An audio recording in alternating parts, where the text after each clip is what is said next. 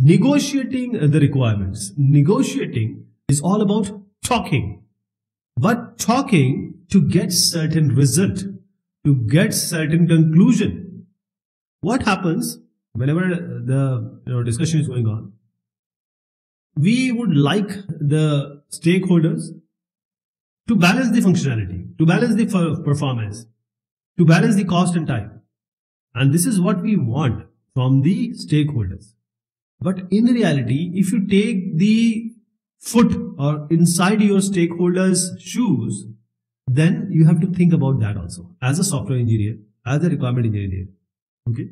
There are multiple parties involved. Every party should be in a win-win situation. Cost is there, time is involved, money is involved. So negotiation is all about developing a project plan that meets the stakeholders' need.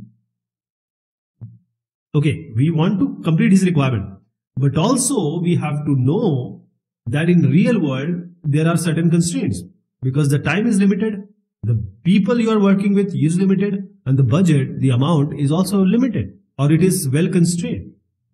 So in in all these constraints, developing a very good project plan that meets the user's need is negotiation. In this money, in this time, this can be done. So the best negotiation always is striving for, is looking for a win-win condition for all the parties involved. Stakeholders, how do they win? And as a software team, what do you win? So stakeholder win when uh, most of the majority of the, their needs are being fulfilled. For example, 1 to 50 requirements are there. 45 perfect requirements you have completed. Use cases you have completed. And how does the software team win? Software team has a budget. They are provided a deadline. For example, 1 million amount is given uh, and uh, 2 year time is given. So under 1 million in 2 years, if the software team completes and gives the majority of the requirement completed, both wins. So Boehm he defines certain set of negotiation. What does he say? He says that the stakeholders should be put in front. What is the viewpoint of the stakeholders system? What software he wants? What subsystem he wants? You need to identify first. Then you have to make or do everything so that the stakeholder feels he won the game, won the negotiation. So determining the stakeholders win condition also need to be known to you. And negotiation of the stakeholders win condition. Now you have to reconcile them into a set of win-win condition. Because here there are different stakeholders with different viewpoints, with different thoughts, different requirement, different pie from the cookie or different part from the, the burger you can say. So Fricker, he actually suggested that there was a traditional uh, handoff, you know, uh, traditional method. Now let us replace it with the, the different kind of method. Previously, we used to make the SRS, software requirement specification, both the party will sign it, and that will be the Bible and that will guide the whole process, whole uh, software process. Okay. Now, Fricker is saying that the traditional handoff system should be replaced by handshaking. There has to be a both way communication, uh, full duplex or you can say bidirectional communication. We call it as handshaking. He termed it as handshaking. Handshaking is now the software team with the basic understanding. He, the software team will propose certain requirement solution. That is, these are the requirements what every requirement, for example, requirement one, this is the uh, requirement content, this is how it is going to impact, and what are our intentions, we need to explain it to the customer. So in handshaking, the software team is proposing and explaining. Now customer, what do they do? That is the stakeholders. They will uh, understand, try to understand the solution. Then they will try to find out what are the missing features.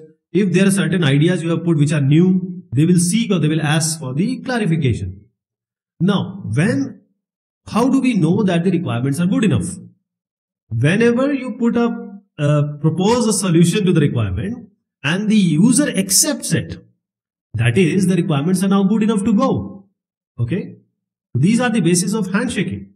So handshaking is now giving all the detailed requirement. Now it is good enough, but we need to get to get it more detailed. This is given, this is directed, this is delegated to the software team.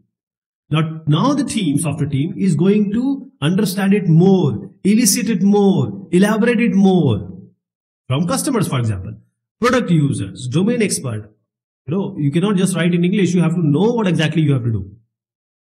So you are actually increasing the way of acceptance because everything is being accepted by the user and this has been elicited by the software team.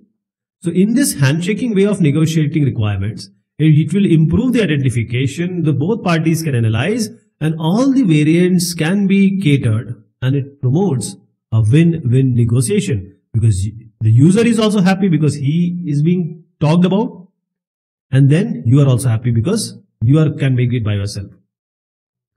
So the art of negotiation is not all about software engineering, even in your personal life.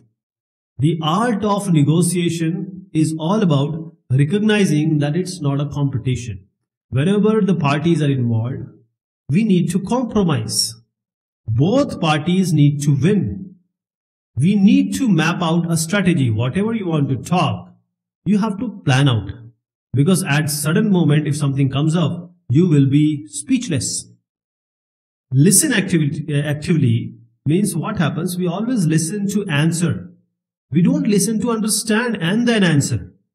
So listen and then talk. Focus on the other party's interest. See, other party wants certain specific thing and you are not giving any heirs to it.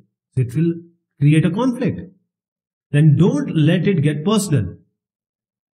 Why? Because, you know, sometimes we, we don't uh, behave like a professional people. We become personal and that will, uh, you know, spoil that negotiation activity.